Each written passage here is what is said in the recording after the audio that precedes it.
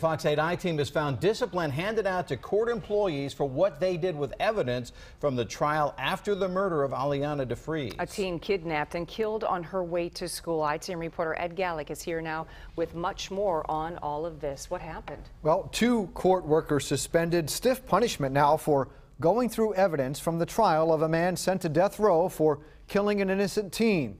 Internal investigation focused on workers in the Cuyahoga County Clerk of Court's office. The workers accused of going through pictures and boxes of evidence after the trial of Christopher Whitaker, recently convicted for the murder of Alianna DeFreeze. Again, the teen kidnapped and murdered on her way to school.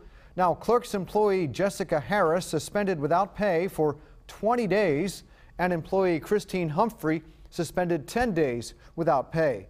The I-team found other workers, even supervisors, also questioned during the internal investigation, but no one else punished. Records show the employee getting the longer suspension also posted on social media about the evidence and did it on county work time.